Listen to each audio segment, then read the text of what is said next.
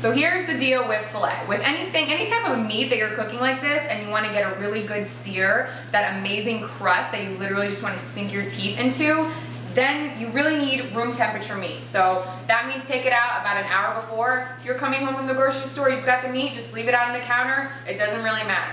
So the next key is you're gonna need an oven and you're gonna need a pan on a stove. You're gonna make sure that you use a cast iron pan. It could be stainless steel, but you just don't wanna use non-stick because then you're not gonna get that sear that you're looking for with that crust.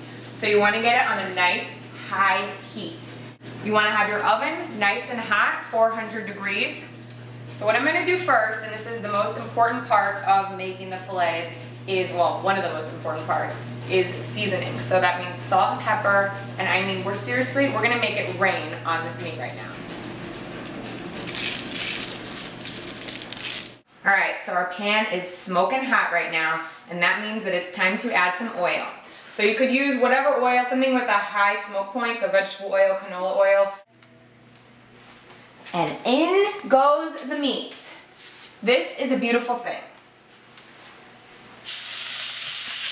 Oh my gosh. You hear that sizzle, and you know something magic is about to happen. Oh. So you're looking for a couple minutes on each side.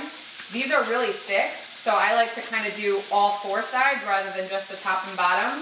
We're gonna get a really good sear, and then we're gonna finish it off in the oven.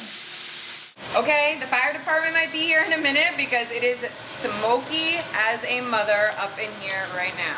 But you can see this sear is really fantastic. A pat of butter onto each steak And into the oven it goes. Look at that. So the steak's in the oven, I'd say five to 10 minutes, five being on the rare side, 10 being on the well done side. You don't want to go that route if you ask me. You're making steak, you like steak, medium rare is the way to go, so I'm going to do about six minutes. And there's one more requirement that I forgot to tell you about this recipe, and that is wine. Okay, people, are you ready for some steak? Oh my god. You can smell the butter. We're done. Look at that gorgeousness. So now I'm just gonna put it onto a plate. I'm gonna cover it with foil and I'm gonna let it rest. Really important. This is like everything when it comes to steak. The biggest mistake you could ever make would be to cut right into that baby. Lose all of the delicious juices. You would never do a thing like that, would you? I don't think so. 10 minutes. We'll be on our way.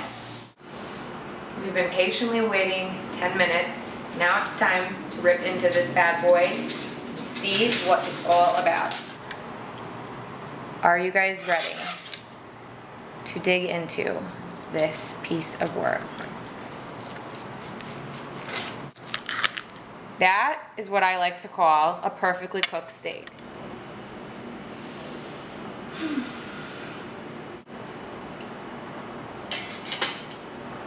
There are no words. The crust has so much flavor. The inside is like butter. It is amazing.